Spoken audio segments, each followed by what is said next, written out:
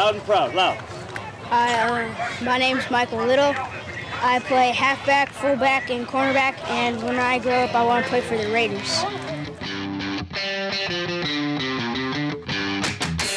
Oh yeah, brother.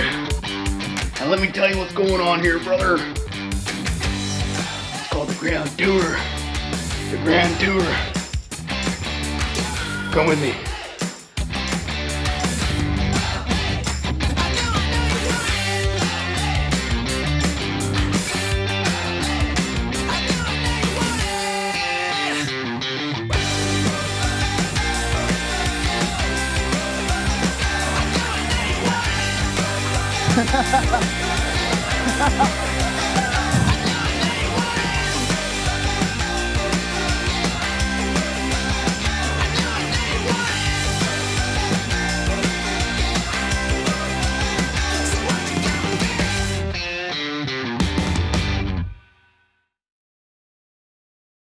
Mikey was born in Sacramento at Mercy on J Street on um, January 9th, 1989, at 9:30 in the morning. Actually, I was looking forward to just cruising in and not having any labor and scheduling my cesarean, but he came in right on his day, so I just sat there going, I can't believe this. So. Had still nine hours of labor, and I had to wait on a gurney. When they pulled him out, he was breech and his arm was tucked behind his neck. And when they pulled him out, he wasn't moving. And as soon as they cut his his umbilical cord, he came alive like like Jack in the Box. Ding! I mean, he jumped out of it, and I mean, it was just like whoa.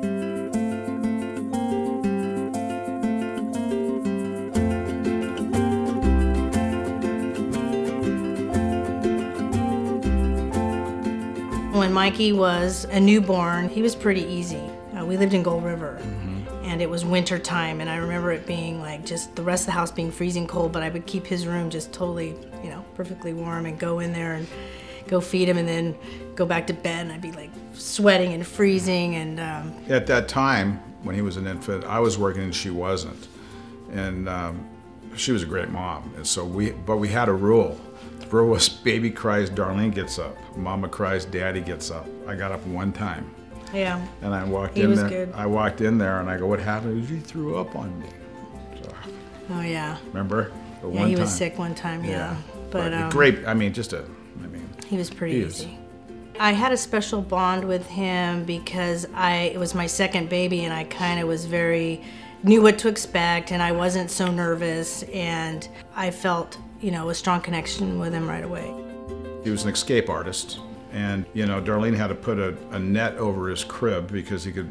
He could escape from the crib like at a very early age, and we had a house that had a big catwalk on it, and he somehow pulled himself over, so he was hanging, and it was a 20, it was 15 feet at least, and he's hanging over there smiling. You know, he always got himself in some dangerous situation, and then he knew it, and he'd smile before he could talk.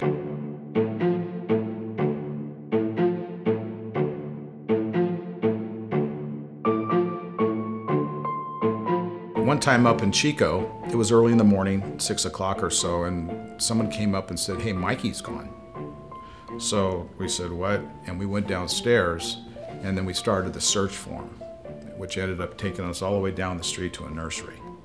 What happened was he walked down the street, there was a plant, like a, a plant farm down there, and we went down there, and some lady was holding him.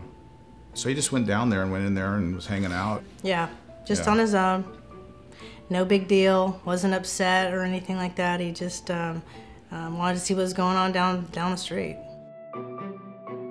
It, during that same time, maybe a little, maybe a year or two older, we went to the Grand Canyon, and the first stop we went to, but it's a flat. It looks like it's flat, and you walk up to the to the edge, and it's like, whoa, it's so vast, right? And so me and Darlene walked. Not down, a lot of fencing. You know, there, there's there's a catch. You know, if you if you fall out, there's a in the front, but not on the sides. And so we're there, and, and, and me and Darlene just like looking and holding Danny's hand and stuff, and all of a sudden her her best friend Lori Longo says, "Brian," she calls me Brian. Turn around and look at Mike. So I turn around, I look at Mike, and he'd find a cap, and it was New Year's Day when we were there. And it was icy. It was icy cap, and I'm looking at him, and Mikey's like, I go, Mike, what are you doing? He's like, like looking at me, like bouncing his legs and stuff, right? And I'm looking at this thing, and if he slips, he's into the abyss. I said, Mike, just hand me your hand. Hand me your hand. And he's like, you know, dance with me because he knows he's, you know, it's a dangerous situation. And I reach out, and I don't want to slip and fall in, and I grab his hand, I yank him off that thing, and we took the kids back to the van. We said, "No, you guys are in the van the rest of the time." It was like, whoa. Yeah, so we had um, five boys under the age of five. Five. And um, the rest of the trip, we had one adult sitting in the car with the rest of them. Like, we'd go out to the Vista Point and look, and because of Mikey, they all had to stay in the car pretty much the rest of the trip. So. And you know, he did stuff like this. I mean, if you go to the mall with him, and he was small, but he was he was smart, and so but but he'd hide in, in the clothes racks. So you know, you know, you, you grab one shirt, you turn around, he's gone. You know, and he would know where he's at. And he'd be sitting there laughing, you know, in the clothes rack. You know, while we're freaking out. You know, nothing's worse than losing your kid at the mall. It's like, are you kidding me? And I had a um, a backpack that I wore for years because he was little for a long time. I he used to I used to throw him on my back uh, for everything, so I knew where he was, and he'd be standing up, you know, almost jogging in place on my back, you know, and that's where I felt most comfortable with him, and I I could hardly tell he was behind me, you know, so. I used to be a foreign exchange student living with the Lyttle family in 1991. And I met Mikey when he was just one and a half years old. One thing that I um, remember uh, best of Mikey is that he had a uh, he had a swagger already as a kid. And here's uh, here's a photo uh, where he's um, already wearing my sneakers back in the days and flaunting it um, as he does. So he's uh, he's already had this uh, this kind of this kind of swag uh, on him.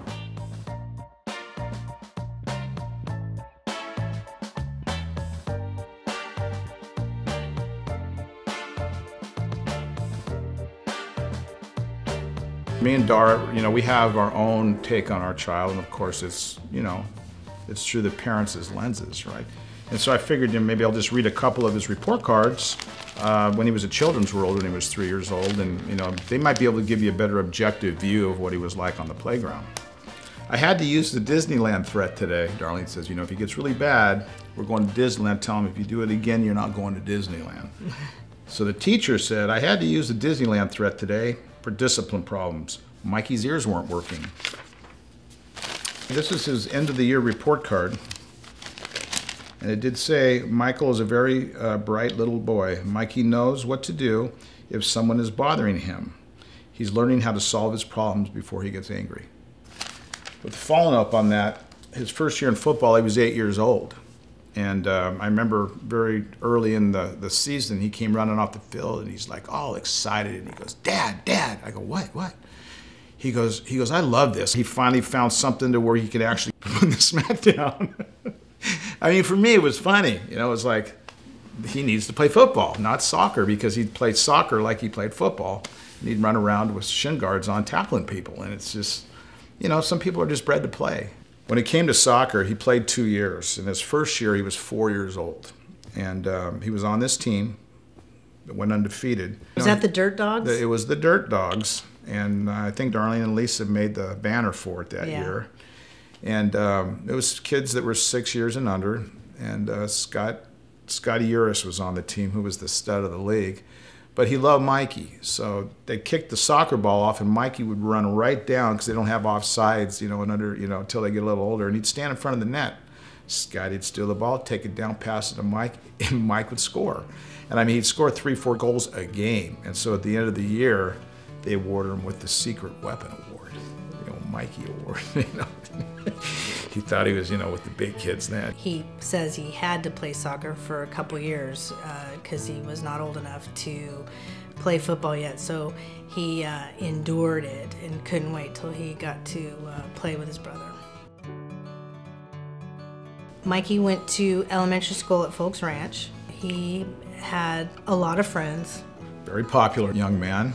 In the younger years, Mikey didn't enjoy hitting the books, and everything would be at the last minute. He would, you know, say, "Oh, I have this um, thing due tomorrow, and we need to go buy styrofoam and make a, you Castle. know, make a, you know, do something." and be like, Darlene's like, "Oh, "What are you telling me right now?" I mean, yeah, he was good at that. Last minute, last minute stuff.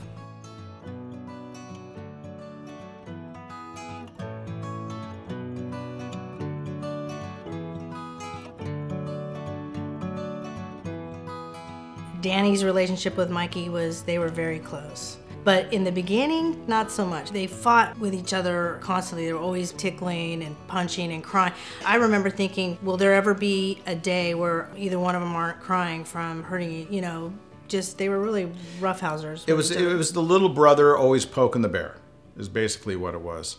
And I remember my, my mom telling me a story about one time they were driving to Chico and Mikey and Danny were in the back seat and Mikey was doing something to Danny and Danny starts crying. And, she, he, and Mikey says, Grandma, Danny's going to really hurt me when he stops crying. She goes, No, he's not. You know, just leave him alone. You know, you know, you're bugging him. And about three minutes later, Mikey goes, Grandma, Danny's almost done crying.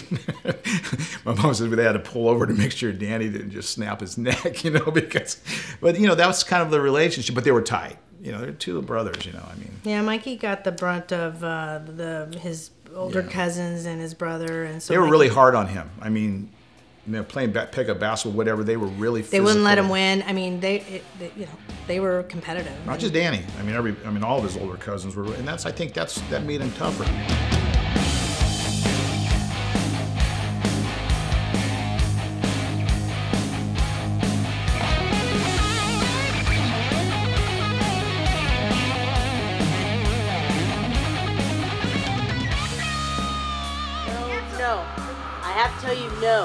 Are you just- Slap you. Are you just? Slap you, slap you.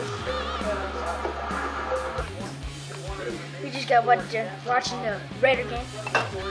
See who could have got it. Mikey was the youngest cousin until my youngest younger brother was there, and um, it was kind of good because he was always kind of the little guy. Plus, he was kind of small growing up in general for his age, but he um, he really helped my younger brother, who's 10 years younger than me, um, kind of become part of the group. He kind of like bridged that gap a little bit, so that was always really nice.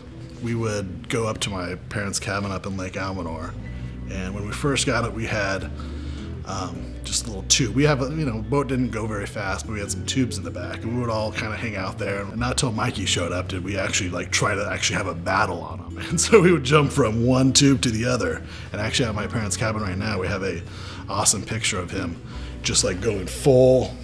Like just parallel to the water, just, just going after the next person. That was the kind of energy he brought always. Um, he was awesome, obviously, but he um, he can kind of fit into any situation. You can drop him into anywhere, and he would be able to figure it out, and he would bond with people and come with you know, come away with a new friendship every time. It seemed like.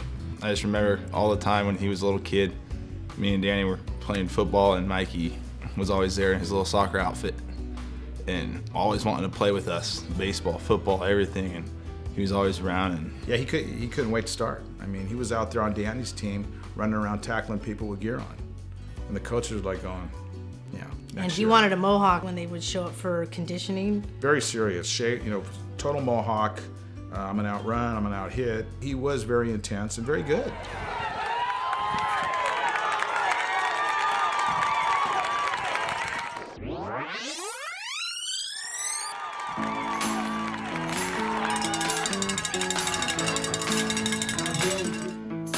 Earliest memory with Mikey was when we first came to the junior herd. Mikey was, you know, he was the fastest kid out there, he was the smallest kid out there, but you could see that everyone was gravitated to him. He was definitely the leader. He just had this infectious smile that I know the girls loved, the boys wanted to be like him. He was just the coolest kid. always big smile. No matter what we were doing, we could run, we could be running sprints, and he's smiling. Like, why are you smiling? The first time I saw Mikey, he showed up at tryouts with a mohawk. With his, he had his little game face on, his attitude. And you look at this guy; he's not very big. He had a big heart and a and big attitude. He, you know, he's going to win. He was tough as nails. There's nobody else like Mikey. I've never coached anybody like him. He'd go through a brick wall for you, bite your leg off to, you know, get the first down or the ball or whatever. He just, nobody will try harder than him. And, I mean, he's a great kid, just one of a kind. When it came to football, we were total football family. He coached, I was on the board, I was a field manager, and I would do stats at the end of every game. Hey mom, how'd I do? How many yards did I get? How many times did I carry the ball? You know, and I enjoyed keeping the stats because then my head was in the game and I could talk to him about the game, and that was really fun to watch him because he was, you know, this little guy with a helmet and, and cleats, and he would run, and I would just crack up, and he was tough.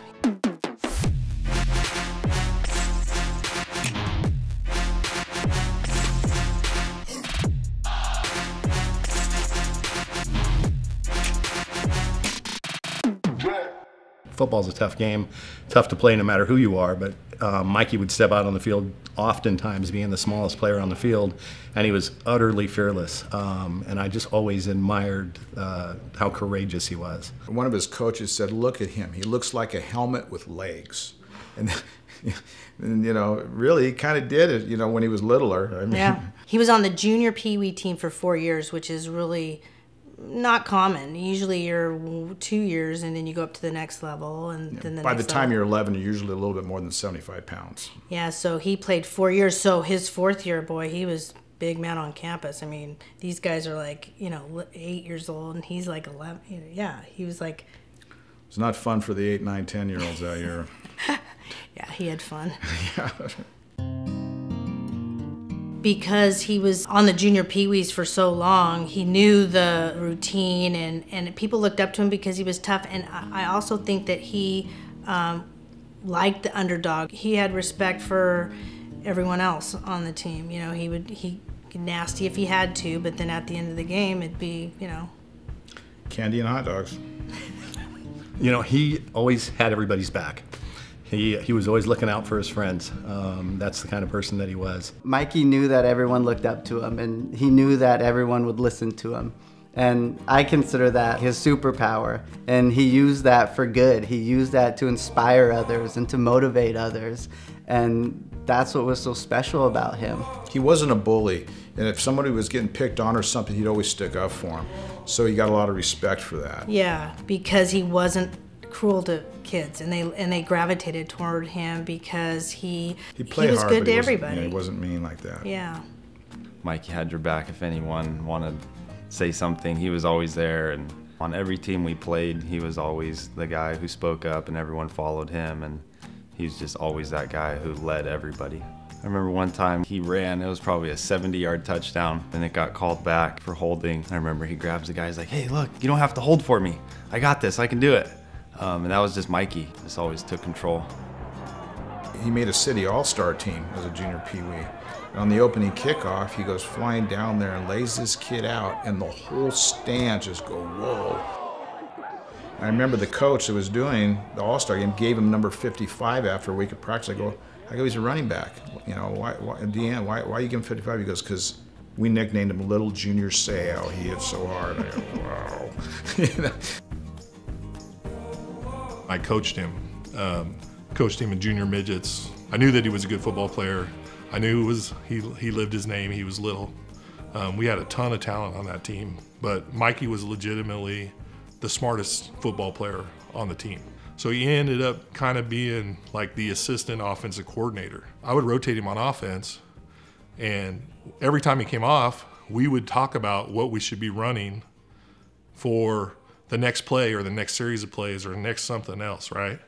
And um, it was really, really helpful to a team that was eventually won a championship. We had a fourth down, and he was on the sideline with me, um, and we were talking about what we could run.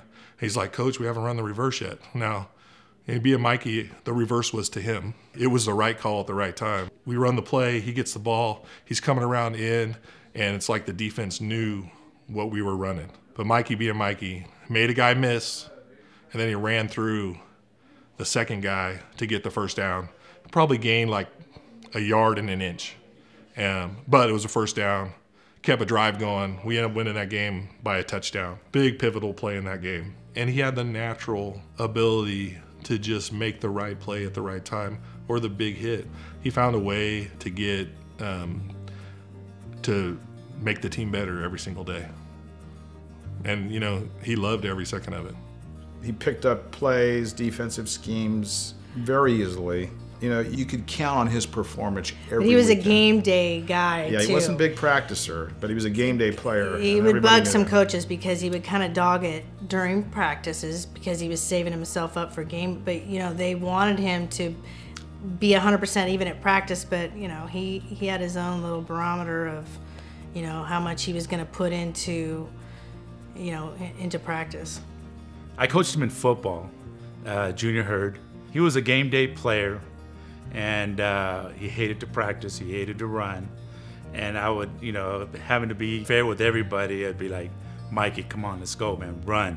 You got to keep up. As JB, I got I got a cramp or I got a sore ankle or what have you, and you can never be mad at him, you know, because he would just smile at you, and and it, we always had a good time out there. It was a lot of fun um, because you always knew that people would underestimate him, and he would always um, exceed your expectations. And he was always a kind of quiet leader. He wasn't loud, but he just would go out and do what he did. He was a lot of fun to coach um, for that for that reason. He absolutely knew how to to get into your heart. He would always come to me for some reason out of all the kids on the sideline, coach, we got this. Coach, don't worry about anything. I got it. You know, we'll, we're going to win this game. He was always positive, and um, I think that was one of the things that really, really, I really loved about him. Mikey to me was a kid that embodied life. He always had a beautiful smile. Although it was a mischievous smile, you knew Mikey was going to get into trouble or get into something. He was so gregarious and effervescent that when you saw him, he just he just took over your heart. He was one of the, the, the toughest, hardest little kids I've ever met. So that was that was Mikey.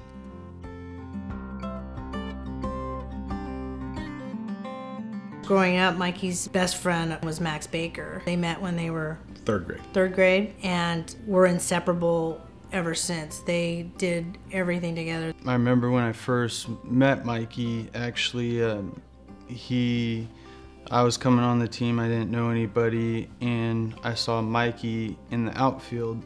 I knew he was somebody because he had a circle of all the other kids around him. Mikey actually uh, kind of came and approached me right off the bat, and uh, we kind of just clicked. They gravitated right away, and so I made a deal with his father. Um, I said, I'll tell you what, I'll teach your kids sports, but you need to teach, teach my kid guns, because Mikey was obsessed with guns too. As kids, I remember we clicked because he liked weapons, stuff like that. We both thought we were like Rambo, so we'd go out in the workyard, we'd be decked out, 12 knives each. Yeah, we would just go have fun. Mikey wanted to learn all of that. He wanted to um, hunt, ride motorcycles. When he, how old was he when he got his first motorcycle? I think that Eight? like- was he eight years old? Yeah. And we got him one for Christmas, a Pee Wee 80. He loved that thing. He did. Mikey went to junior high at Kerr. You know, they'd have school dances, and we'd take turns picking the kids up. And and uh, one time I was went on campus looking for Mikey. He he was at the dance, but he wasn't where he was supposed to be when I was to go get him. So I had to go into the gym, and I was. Uh, I said, "Where's Mikey?" Oh, he's over in the corner over there. And there was like a huge mob of people like that I had to like kind of wade through, and and, and um, I get in. I said, "What is he doing?" He's, and they said he's freaking, and I go, well, "What is that?" I didn't know what that was, but it's some sort of dancing, I guess. And um, he was in the middle. I had to yank him out of there. It's time to go home. But another another cute story at, at Kerr was I was at with him at an open house, and um, he gives me one of these. He gives me a little like look over there, and I see this you know, gorgeous girl, and he goes, yeah, she's gonna be my girlfriend one day, and I go, really? I go, you know, and Mikey is like a, like a foot shorter than her, total baby face, and she looked to me like A young she was in high school. I mean, I go, wow, good going, Mike. You know, hey, you go, you go. He, he did it. I mean, he a couple years later they were together, so it, it took him a year. or so. Kimberly Goodwin. Yeah, Kim Goodwin. As a kid, my best memory of Mikey, probably one of the standouts, was middle school, seventh grade. I used to walk home, go hang out with Mikey after school, and um, we were walking, and I ran in. I saw a older high school guy who was approaching. He was coming forward, and um, I told Mikey, I was going, "Oh man, this this big high school kid, you know, he bullies me. He's gonna watch. He's gonna bump me. And Mikey's kind of what? I go, yeah, watch. He's gonna bump me. So we're walking towards him, and Mikey walks to the side, and I had no clue what he's doing. He didn't say anything at all. The high school kid, sure enough, goes to push me. Mikey smacks the soda out of his hand, shoves him, and uh, the kid's like, "What the hell?" Mikey punches him, tells him, "Quit messing with my buddy or punking my buddy. Stop it." And um, he stuck up for me, and sure enough, the kid stopped. Uh, he was scared. this kid was literally three feet taller than Mikey, and um, that's when I knew Mikey's incredible friend. You know, I was scared. I knew he was scared, and he did it just because he's like a brother to me. And that's was really cool. It's the coolest thing anybody's ever done for me. We had a few high schools in Elk Grove, and they were um, not taking open enrollment, and we wanted to make sure that Mikey went to Elk Grove High. And one of the things is you could either take German or join FFA, and you know, raise, you know, go through the raising of an animal and showing at county fair.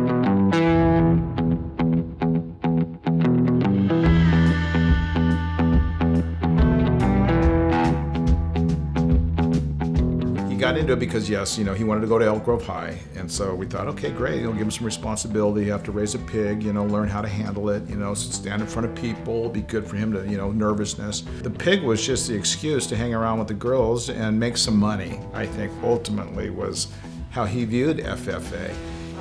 Okay, right now we're going to go to the coach. Um, the coach, her name is Susan Baker. Susan, what can you say about the boys? We have had a very good uh, county fair so far.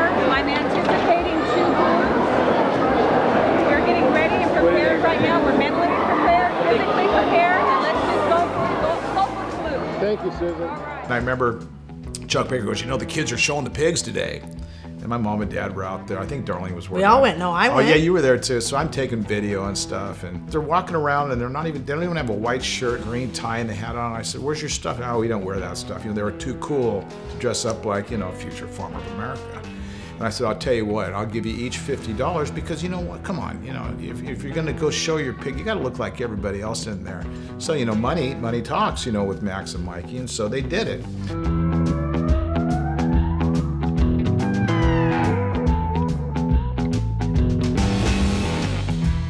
Max had the land to have these animals and they decided to raise pigs.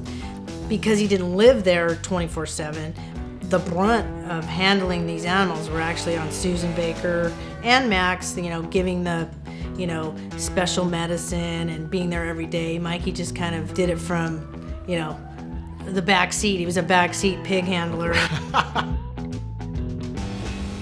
And they get out into the arena, and I'll never forget this. And they have these little sticks. I don't know anything about it. Yeah, to Little- guide you know, 'em. to guide the pigs around. And they had not worked with their pig for one minute when they got out there. And all these gals and guys were running their pigs around in a circle. And Mikey and Mac looked like looked like they're doing the shooting star back and forth, chasing their pigs all over the thing. Me and Chuck are just howling, you know. Hey, Mike, get your pig.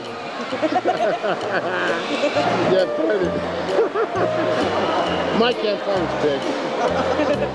He's lost it. Look at. it. it was funny watching him have this pig that wasn't listening to him at all. And, you know, at that moment, he's going, God, I probably should have um, uh, done a little bit of practice with this, you know.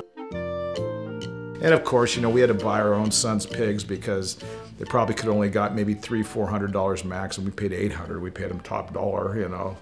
And I remember he had a friend, Justin Thrall, who they grew up with too, and the Thralls were were big into that, and his mom and dad, and they were laughing, and I goes, they're just like, did you expect anything different? You know, no. Yeah.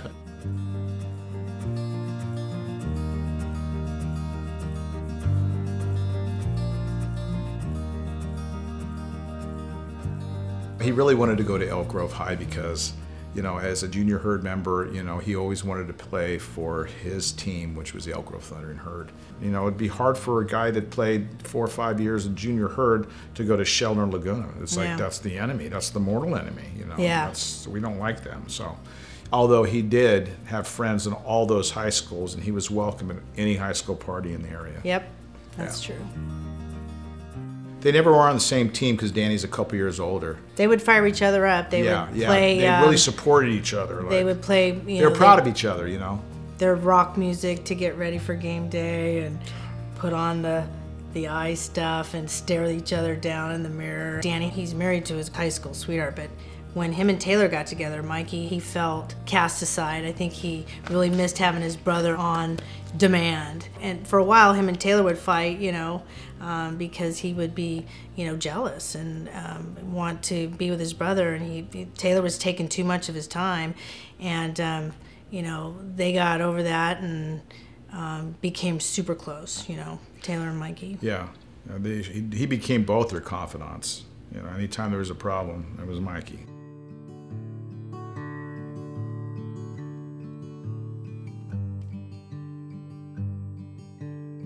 He's loyal, honest, trustworthy, and will give his shirt off his back to just to make you feel comfortable. He embraced me as a brother, showed me how to be a man in high school, to be a good friend, to be a good, honest person. Mikey was very, I can't explain it. He kind of just had a presence when he walked into a room.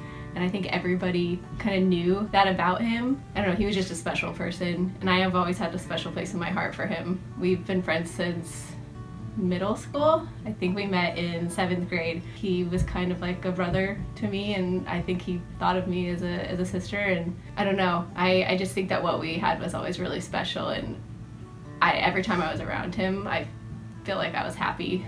One thing he loved was we'd have game night. That was a blast. And we did that from when we were younger, just playing board games, whatever type of games, until, um, you know, until we were older. Never really stopped. Always played games in winter. Taboo was one of Mikey's favorites. I swear he cheated. Yeah, like he always won the games. I don't know how he did it. A little luck, or I think, I don't know. But he's really good at the game night. That's probably why I liked it a lot. You know, Mikey always wanted to, you know, turn things into a game. We'd go to my parents' house and couldn't afford to go golfing all the time, so uh, my parents, you know, live on land, and we'd make a make up our own golf course and stuff, you know, and make up holes and you know practice that way. So it was, it was, it was cool. I'm sure you guys got the video of when uh, Mikey uh, hit an eagle and we were out golfing and we were just circling around doing flips all over the course. This is Mikey right here. This is actually my divot mark. From here, eagle chip in, TCU witness. Well, we're out of breath because we just went ahead and did about 500 cartwheels, but go ahead and see if it's in the cut, Mikey. You know, he, he just kind of hit a ball pretty decently far, but it shanked off to the left side. And, you know, knowing that guy, he had some pretty good luck, you know, and he just holes out from like 100 yards. But I videoed him going all the way up to the hole. What a chip in, brother. Probably best shot I've ever seen, dude. With the bounce, with the With the lucky hop off the top of the little mountain right here. You know what? And I didn't have a bad shot from back there. That's a great shot. Here we go right here. Second eagle in my lifetime. Feels good. This is the chip in, baby. Nike 4. Nike fell. There we go. Woo! Oh man, he cra- Kevin McGee. Right when I hit this really nice shot, he's in the background. I'm walking up to the tee box, and I went to Central Michigan, and he goes, "A Chippewa from Central Michigan, a Chippewa," and they're filming the shot, so you can hear him in the background. Representing the Chippewas. The Chippewas. The he's fighting a, Chippewas. He's a chipper. he's a chipper. And I smoke one, and he goes, "Polish sausage, Jesus!" Oh, Polish sausage. Jesus Christ. You know, he's just in the background with this elongated, like, Fox, you killed that one, you know, and I still got that on my phone. I save it forever. I remember Wolfpack cookie parties every year for Christmas.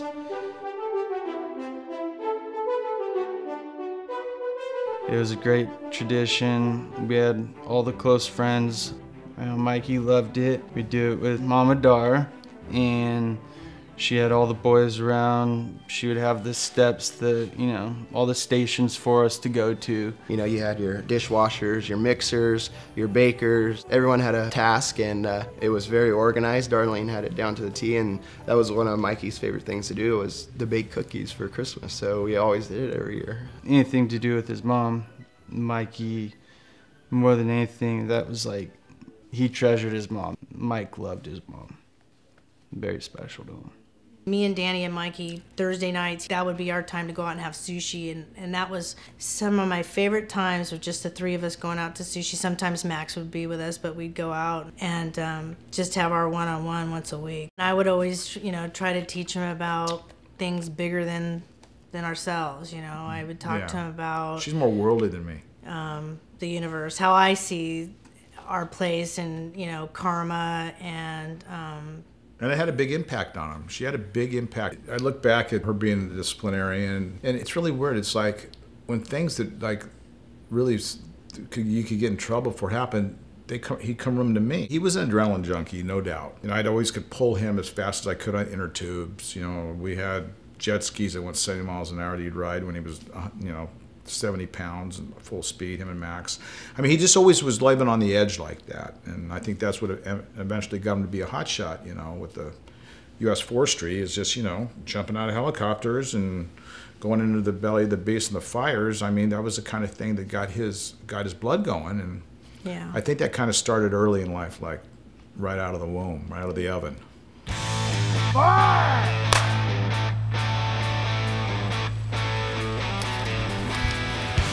Ah!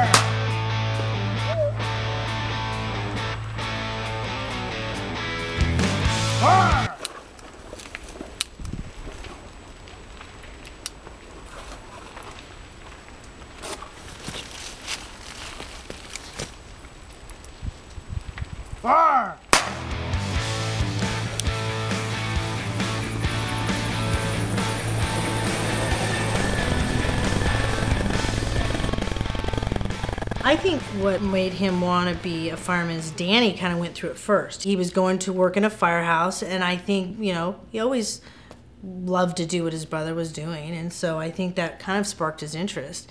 And he actually went to the academy first. He got like a coach's award, considered like a He got the award. instructor's award, which is the award given to their top cadet by the people that actually train you on the ground, and which was a lot of the a lot of the uh, captains in the fire department think that's the best award because that's given right from the guys that are on the ground with them. Steve Egeman was a person that coached him when he was little. So later on, he was one of his main training captains. And up here in Ione, when they when they start actually going into fires, they have houses that they can turn on the fire. And he says, Mikey came up there and he says, you know, he says, I know what Mike's about. I coached him. You know, I know exactly what he's about. He says, I used him as an example. He said, I made him go first. He says, Mikey, go in there and find the body and bring it out. And I mean, it's hot in there. It's 300 some degrees. So Mikey goes in there on all fours, finds this thing, comes out, grabs his, you know, the beat, this, the, the, the, whatever it is, the sand sack dummy, pulls it out, comes out, puts it up. He goes, okay, cadet there, you're next. The guy goes in there. He's in there less than a minute, and he comes out. And Mikey's like bending over, getting, you know, grasping air and shit, taking his apparatus off. Captain Amy goes, Lyttle, get back in there. Mike turned around, or Mikey turned around, put his apparatus in, and flew in there again for like another four minutes, and found another body and brought it out. And he goes, I just, every, that, I think that's why I won that war because Mike, I mean, Steve already knew what you know what he was made of, and when he did that, that was it. And I know Mikey worked super, super hard to get his EMT. It wasn't easy for him. And I think he was super proud of it because it took everything he had. And he got that. And so then when he made it through the academy and got a job with the Hot Shots, he was the EMT on the team. Yeah, he um, he had to do uh, like almost like an internship after he got out of the academy, and he worked in Firehouse 100 with Campton Hunt out of a Cal Fire, and he did that for I forget I don't know if it was a year or something. Danny did the same thing. Uh, but after that, uh, there was a like a hiring freeze at the at Sac Sac City Fire as well as County Cal Fire Irvium. So what ended up happening is uh, I, I I met a guy that, that I became friends with. It was a captain on a hotshot team out of Shasta, and he said, you know what, have him come up here Uh, fill out the paperwork out here and let me see if I can get him on the helicopter crew because he was the captain of this helicopter. The number one in the nation, the 506, the Shasta Trinity Hotshot crew out of Shasta Trinity. So he went up there, and the first year he didn't get hired. And uh, the next year came around, next fire season come up. I call Matt, I go, I mean, does he even waste his time? He's only 21 now. He goes, tell him to do it again. He says, have him put it in. So he put it again.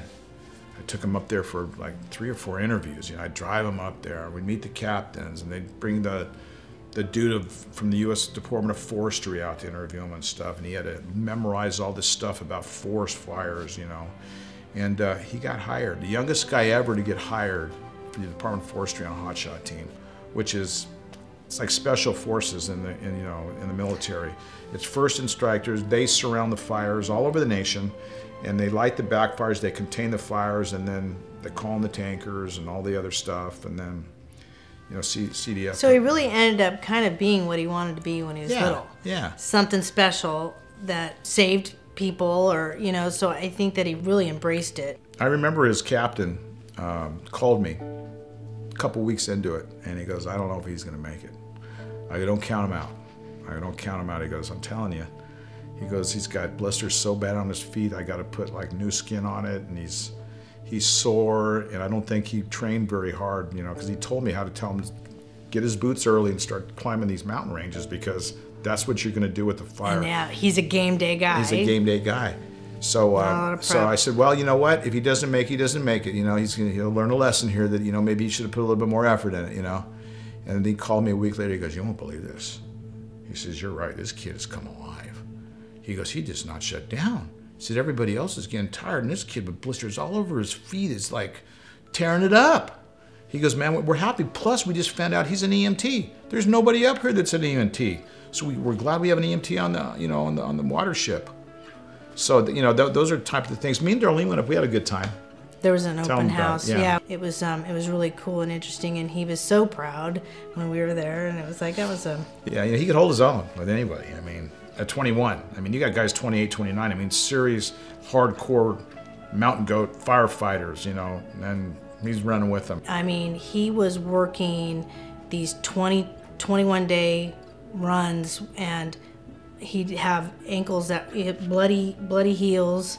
Um, you know that they'd have to just oak. tape tape up, and he would he would continue to work, and um, and I think that they really they recognized that about him. He was just a really super hard worker. They would take him off the line. His captain would see how hard he's working. He's and he, and he says, every, you know, he'd take him off the line for two, three days. You're usually going to drive around with me or fly around in the helicopter. You're not even going down on the ground, you know, just because he needed a break, you know. But he would have worked right through it. He worked Yeah, until he dropped. Didn't want to complain about it at all. He liked the family atmosphere and the life and death situation they were in, and it just breeds camaraderie. And I think he also felt good when, like, when they would be off a fire and be out, and there'd be so much gratitude coming from people, like, "Hey, thank you for your service," you know, and Yeah. and I think that made him feel good and gave him a sense of pride that you know that he was doing something that people really appreciated. Two, three.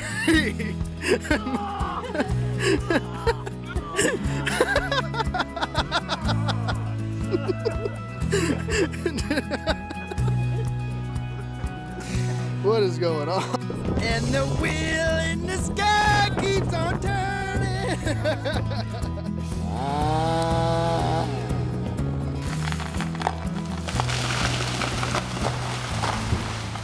Starting to work for the Shasta Trinity Fly Crew, he started going out with Olivia. Cute couple.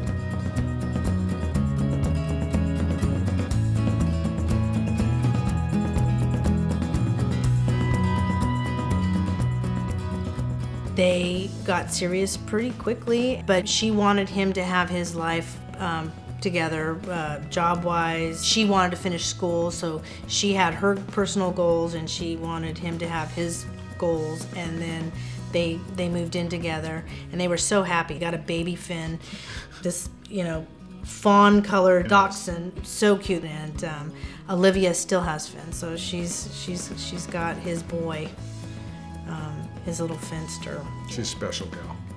We love her.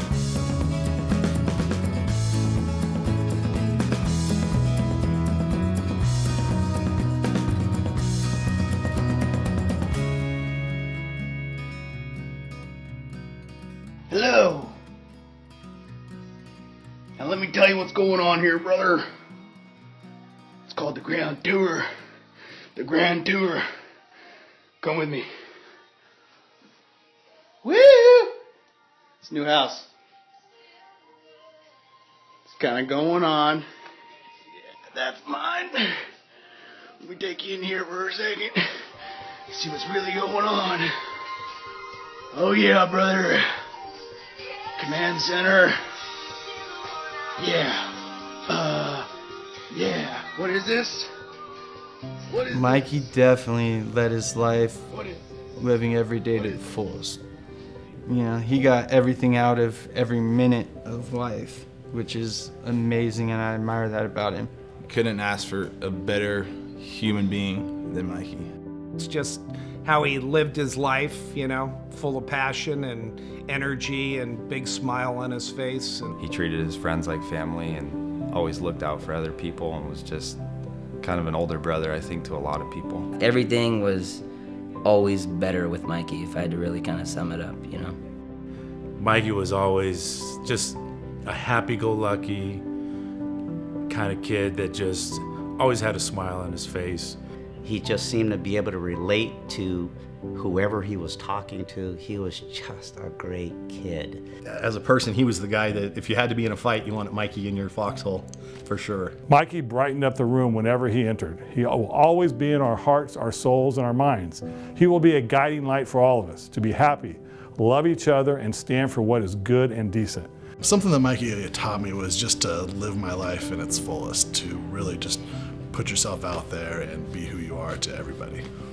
The thing Mikey taught me more than anything was to believe in myself, which is awesome. Mikey took me places as far as my sports and my life that I know I couldn't have done by myself. He knew that people really, really listened to what he had to say.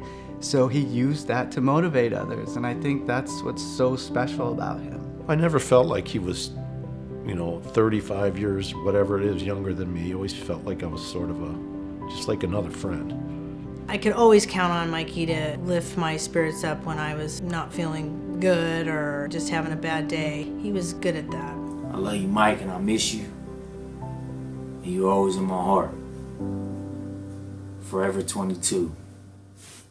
He lived a lot of life. I mean, I'm telling you, when you look back at it, you can't be sad for a 25 year old kid because he lived a lot of life. I mean, he went across the nation, all borders. Uh, he didn't he didn't short short circuit himself in life at all. Yeah. So, yeah, and he was an old soul. You know, he's really really has no no no boundaries. And so uh, Darlene and I and Danny, you know, a lot of we have we have some of his ashes. I know for me so far, I've spread some of his ashes in Mexico in the water, and I take it I take it places with me that I know he would like. He's in Almanor, Lake Almanor. He's in Lake Almanor and, And the Helibase and and the 50 yard line at the Oakland Coliseum. oh, Coliseum. we had a, we had a Mikey day right the first year and took a pitch on the 50 yard line and we dumped him on the We 50 just yard put line. a little bit on the game. shield. He would have loved that. The number that we associate Mikey with that gives us signs is 22.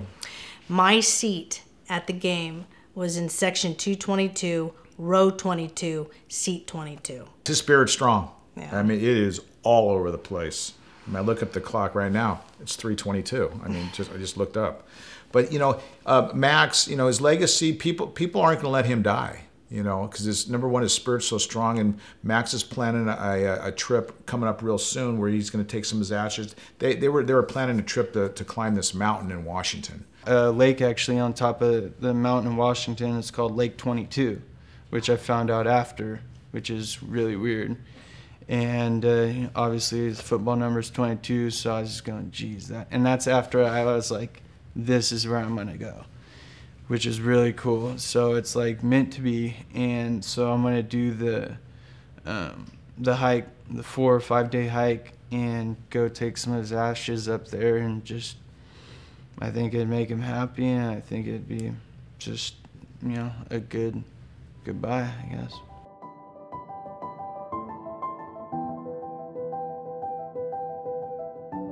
If I were to describe Mikey as a person, I would just say he is a top shelf guy. He is has integrity. He never lied. He would give you 100% effort in everything he did. Uh, he, he, he loved the underdog. He would not let anybody put anybody down in his presence, and he was never bullied anybody. And I think that, um, that his genuine heart and his appreciation and zest for life transcended to every person he was around. And uh, people just wanted to be around him because he had such a good aura. I'll just remember that he always made me feel like I was the best guy in the world.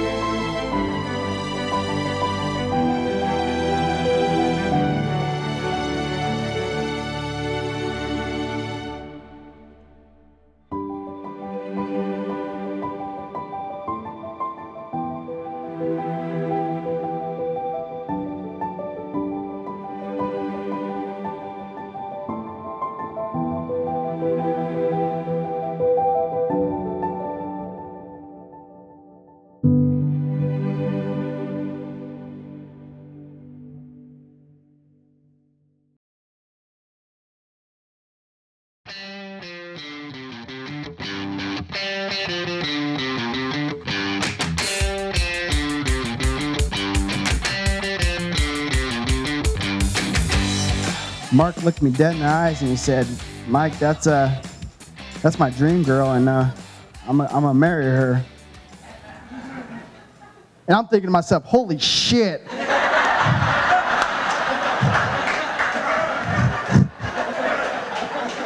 Somebody get this guy a beer and a double Western bacon cheeseburger stat